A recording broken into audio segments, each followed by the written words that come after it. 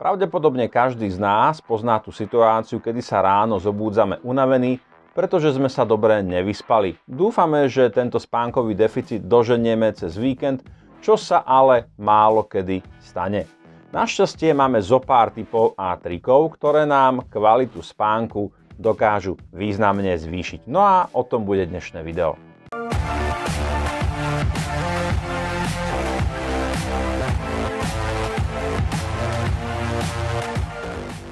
Vítajte na videokanáli Martina Prodaja. Vítajte na mieste, ktoré je venované osobnému a profesnému rastu, kde vám už od roku 2008 prinášam témy od zarábania peňazí až po zvládnutie meditácie. Ako som avizoval na začiatku toho dnešného videa, dnes sa budeme rozprávať o spánku, o kvalite spánku, presnejšie pozrieme sa na 4 jednoduché typy, ktoré nám kvalitu spánku môžu významným spôsobom zlepšiť.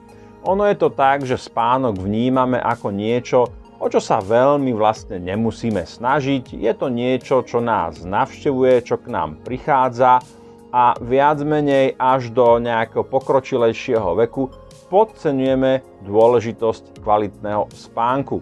Na nešťastie tento pohľad nie je veľmi prospešný a takisto nie je veľmi zdravý, pretože spánok a zvlášť kvalitný spánok je v podstate jediným miestom a jediným časom, kedy náš organizmus skutočne naplno regeneruje a vypína.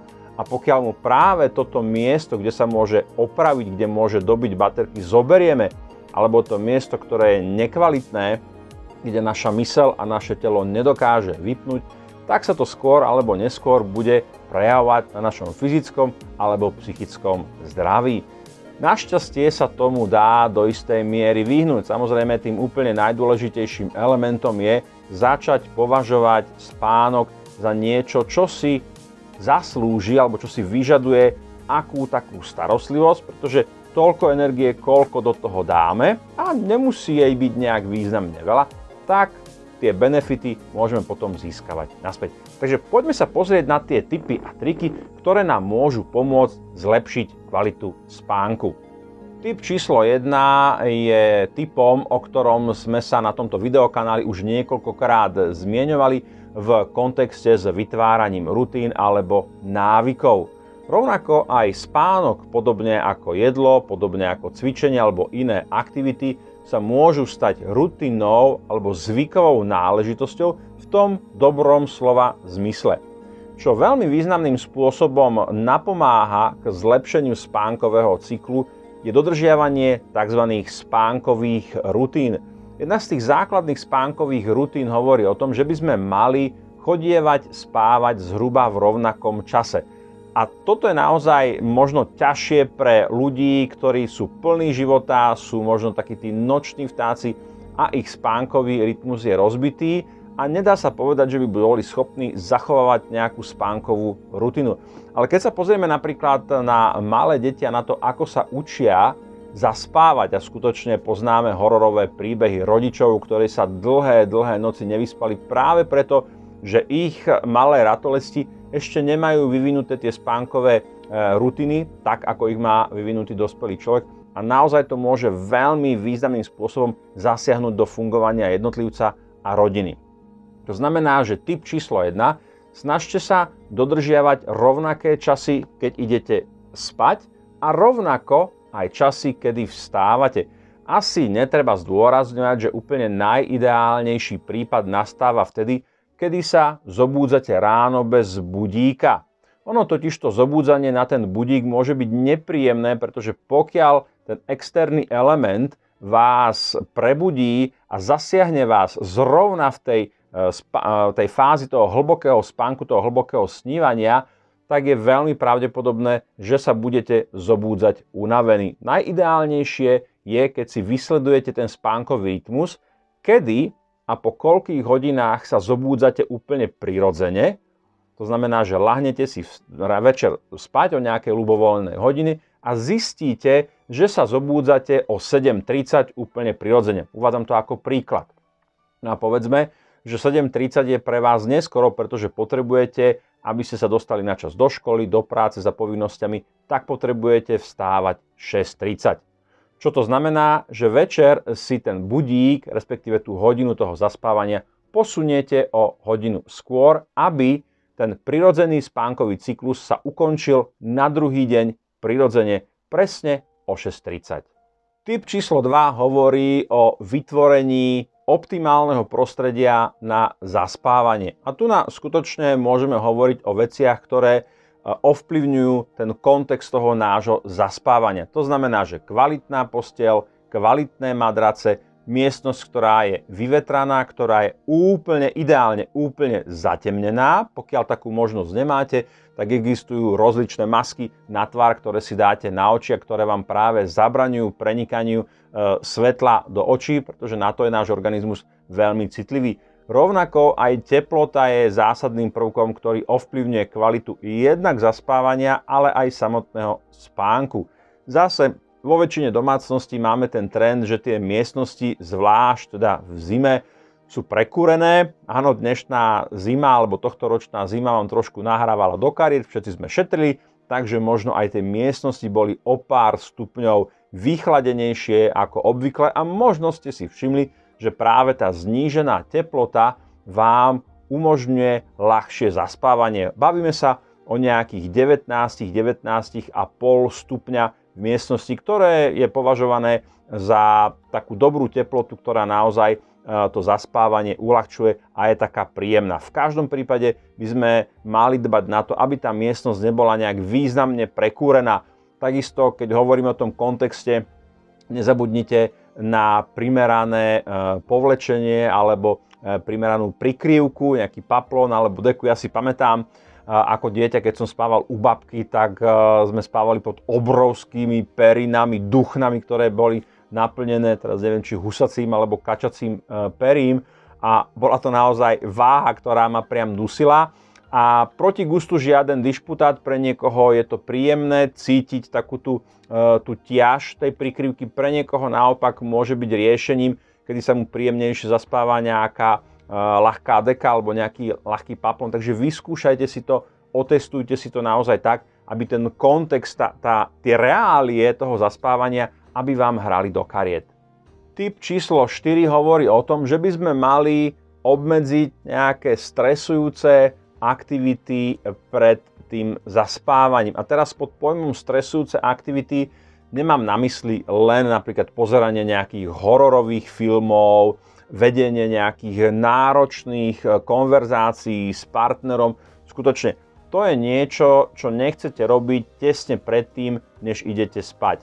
Veľmi často sa totiž stáva, že tie emócie, ktoré vzniknú z takýchto udalostí, či už je to nejaký emocionálne silný film, alebo je to emocionálne silná konverzácia, tak je to niečo, čo vám doznieva v tej hlave a vaša mysel sa to bude pokúšať spracovať no a neprepne sa do toho oddychového, do toho relaxačného módu, ktorý práve je nevyhnutný na to, aby jednoducho ten spánkový cyklus prirodzene začal. Takže e, žiadne emocionálne vypeté situácie, skúste práve už keď sa blíži tá hodina, kedy uh, viete, že pôjdete spať a nie len práve tá hodina, ale niekoľko hodín predtým, akoby začať zvoľňovať. Dávajte tú nohu z plynu dole, ukončíte okolo možno 17., 18., 19., zase záleží to od toho, kedy chodíte spať, ale moje odporúčanie je, že ani pracovné aktivity by sme nemali robiť e,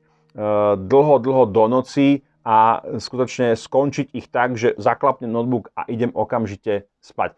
Není to, úplne, není to úplne správne, lebo zase mám tam pretlak tých pracovných povinností, pracovných myšlienok, myšlienky bežia ako splašené kone, nedokážem ich zastaviť a nemôžem naštartovať ten spánkový uh, cyklus.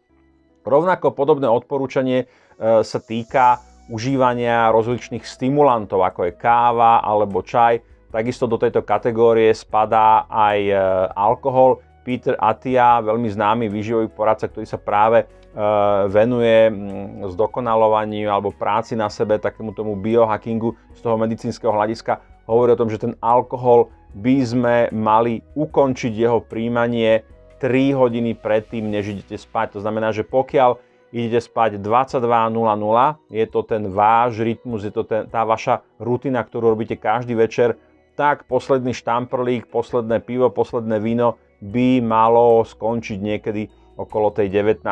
Zase, je to odporúčanie, každý z vás si to môže vysledovať, ale faktom ostáva, že alkohol ako taký e, síce nám uľahčuje v mnohých prípadoch to zaspávanie, ale práve potom tá kvalita toho spánku počas noci dostáva na frak, pretože tie spánkové cykly sú narušené, prebúdzame sa častokrát v úplne ne- nemožných časoch, druhá, tretia, štvrtá hodina a môžeme mať potom problémy s opätovným zaspaním, čo samozrejme logicky spôsobí to, že keď mám vstať o 6.30 ráno, osviežený, oddychnutý a o 4.00 som už hore, tak mi chýbajú 2 hodiny kvalitného spánku a je jasné, že niekde počas toho dňa sa to bude prejavovať. A čo budeme robiť? Štandardne, e, tento deficit saturujeme príjmom nejakých stimulantov, energy drinky, káva, hej, ale zase je to, je to riešenie, ktoré prichádza na úplne nesprávne miesto.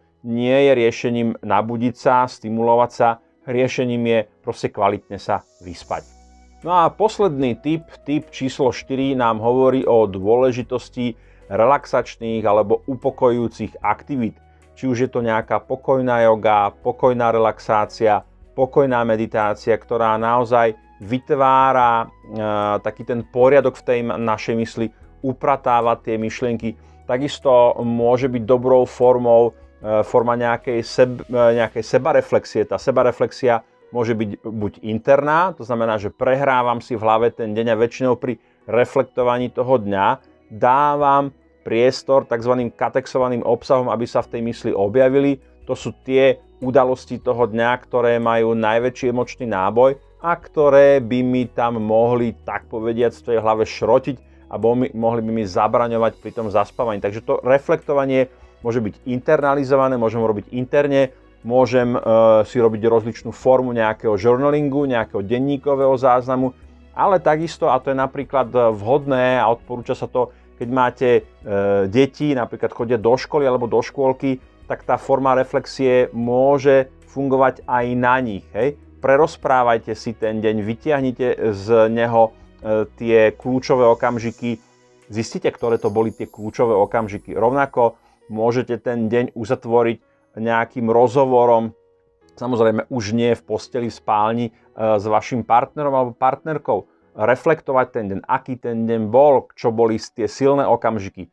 To je práve to, že tým vypovedaním alebo tým napísaním sa stráca emočný náboj tých udalostí a práve tá emočnosť, ten emočný náboj, to je to, čo nám pri tom zaspávaní komplikuje ten vstup do tej ríše snov.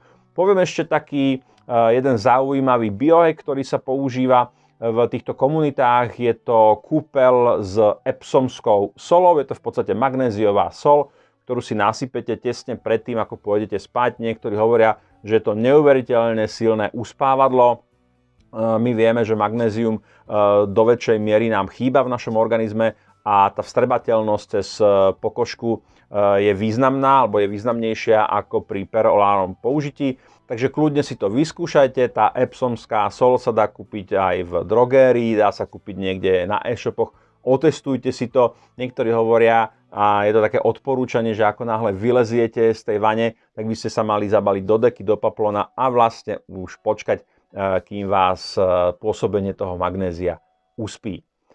Takže priatelia, to boli 4 jednoduché tipy, ktoré vám môžu pomôcť so zlepšením kvality toho spánku, Pamätajte na to, že podobne ako pri všetkom ostatnom, pri každej inej oblasti nášho života, bez nejakej analýzy, bez nejakého zavedenia alebo zakomponovania nových prvkov, nových postupov sa nič nezmení, pretože ako hovorí známy citát Alberta Einsteina, šialenstvo je robiť stále to isté a očakávať iné výsledky. Takže pokiaľ v oblasti spánku chcete očakávať alebo chcete mať iné výsledky, iné výstupy, zamyslite sa nad tým, ako vyzerá ako vyzerajú vaše spánkové rutiny a skúste si vybrať možno aj jeden z týchto dnes spomenutých štyroch typov, ktoré vám môžu pomôcť s vašim spánkom. Tak čo priatelia, páčilo sa vám video? Ja verím, že áno. Pokiaľ tomu tak bolo, dajte mu like, dajte subscribe, takisto nezabudnite navštíviť moju webovú stránku martinprodaj.sk. V tomto okamžiku je to z mojej strany všetko a ja sa opätovne teším